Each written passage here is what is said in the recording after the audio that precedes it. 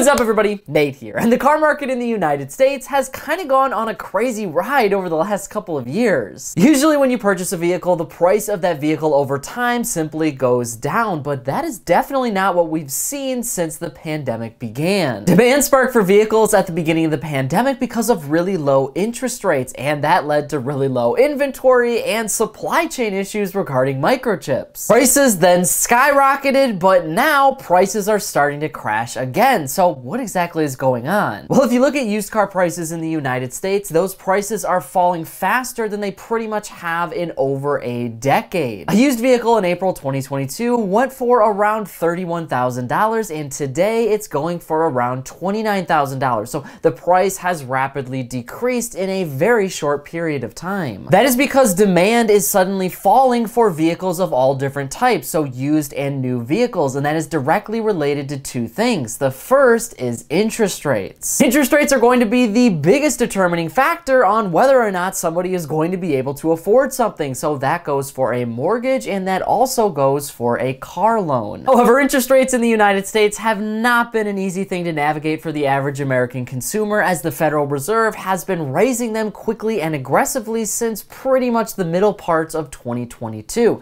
This is all in a response to inflation. We've had inflated prices in the car market market and the mortgage market and in prices for food and services for a very long time. And the Federal Reserve needs to ensure price stability, so they're raising their interest rates to bring down demand. And that is exactly what we're seeing across the board. And a car loan works very much differently than, say, a mortgage does. When you get a mortgage, you're typically locked in for, say, 30 years. Sometimes it's 15 years, and sometimes it's 10 years. But the average car loan is only around five to seven years in the United United States. So you are buying something for around twenty to maybe $40,000 if you're looking at a used car, but your payments are going to be a lot more each month because they're spread out amongst fewer months. That means that interest rates have a much bigger effect on the car market than they do something like a mortgage because now you're going to have to pay a significantly higher amount even if interest rates go up by a half a percent or a full percent. The Federal Reserve raising interest rates affects a bank's or a car dealership's ability to borrow money. So if they have a harder time borrowing money from the Federal Reserve and the United States Treasury, that means they're going to charge you a higher premium to finance your vehicle from them. So you're going to be paying a lot more for your car, and Americans today simply can't afford to pay these new prices. Now, the kicker here is there was a lot of Americans who could not afford to buy a car before, even in 2020 and in 2021 when the market markets were sort of booming. This is because we had a lot of stimulus and the great resignation meant that people were moving jobs and getting pay raises pretty much immediately. So with all of that added income, that kind of meant that Americans could go out and get a bigger vehicle. They could get a car that they really wanted to because they had so much more money in the bank. For a while, government intervention and stimulus meant that Americans could afford those bigger car payments. We had the mortgage moratorium, we had rent payments essentially paused, student loan payments are still paused, and Americans had additional unemployment benefits. So even if they were to lose their job during that time, they could potentially still afford their payments. Now, that is really good for your bank. That's really good for your auto company, and it made sure that a lot of our essential industries in the United States that employ hundreds of thousands, if not millions of people, stayed afloat. But in 2023, and even in the latter parts of 2022, most of that money has pretty much all dried up. So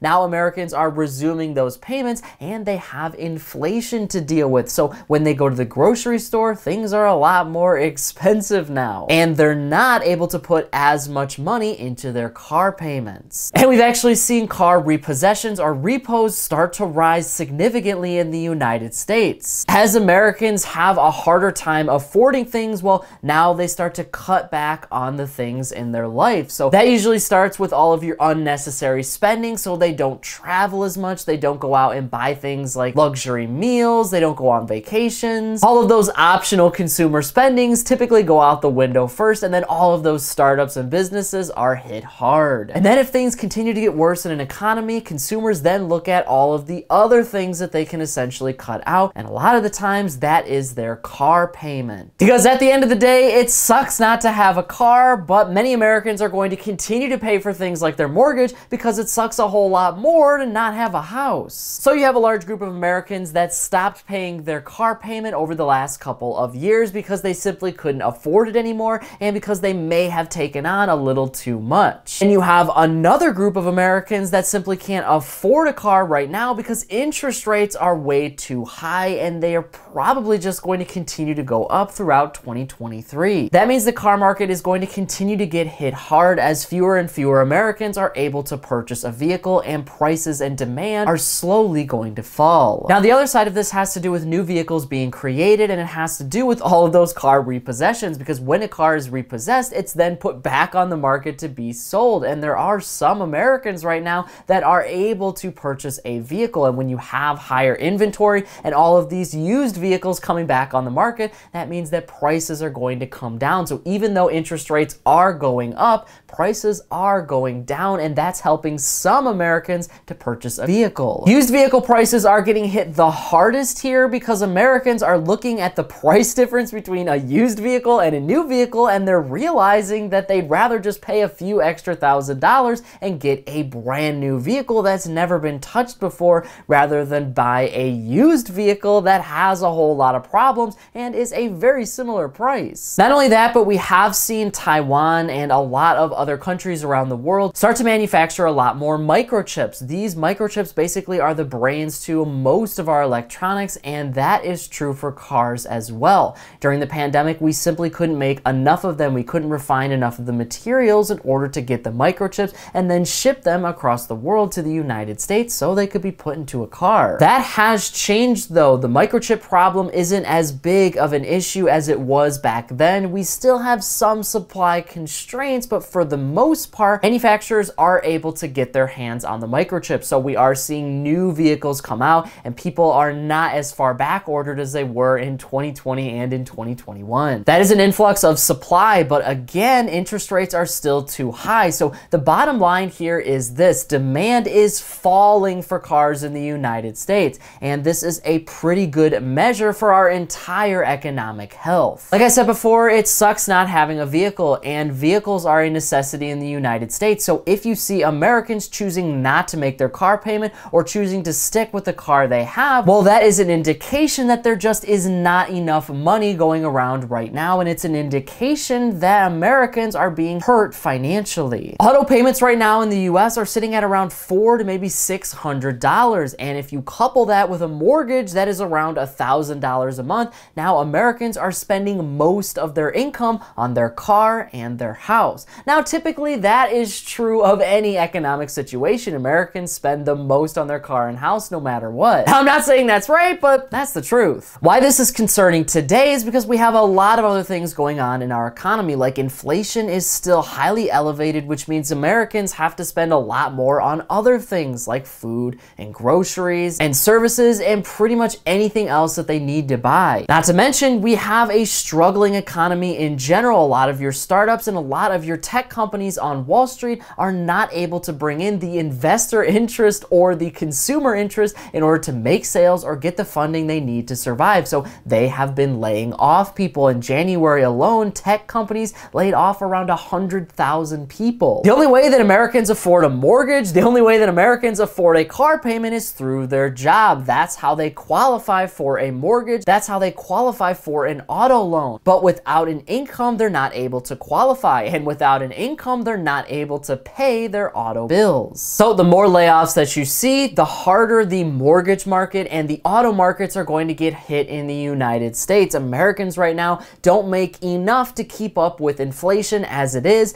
And then with everything else going on, there's a potential that they could no longer be able to make their car payments. And that hurts our entire economy. But at the end of the day, it's going to send car prices and home prices in a downward spiral. And the one thing you need to understand about vehicles and vehicle prices is that buying a car is not an investment. I mean, unless you're going to buy some six figure plus super rare vehicle, then maybe that could be an asset and there's an argument for that. But for the average American, buying, say, like a Ford F 150 in 2023 is not going to be an investment. Cars lose value over time, and the market is finally starting to readjust to where it was pre pandemic. This is normal to see car prices and used used vehicle prices going down. What wasn't normal is used vehicle prices going up in value over time. Keep in mind too that vehicles, whether you get a new vehicle or a used vehicle, they are going to cost you money. Just like your house, there is a lot of maintenance that you have to keep up on. There are things that you need to buy for your car every so often, and the more you drive it, the more expensive it becomes. The market though is falling back to reality, and the times for used vehicle owners to make a profit on their vehicle